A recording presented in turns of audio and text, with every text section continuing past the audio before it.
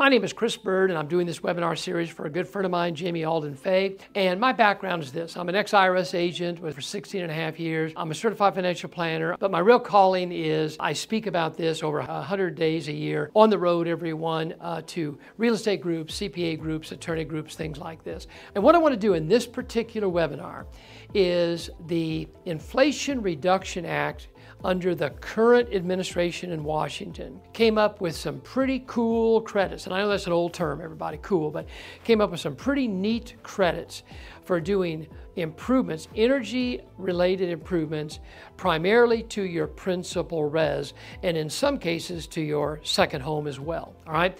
And uh, just driving around, Jamie, you've seen it uh, everywhere in this town, Craig. Solar is going up left and right. I just the neighbor next to us just put up solar, and I couldn't believe it. They were there one day, and there were 30 panels on a roof, and they were done. So that's part of this.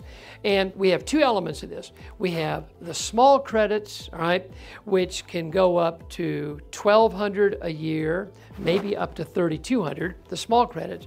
And then we've got the solar credit, which can go up to no limit, everyone. All right. So these credits that I'm going to talk about for the next five or six minutes are basically in effect between 2023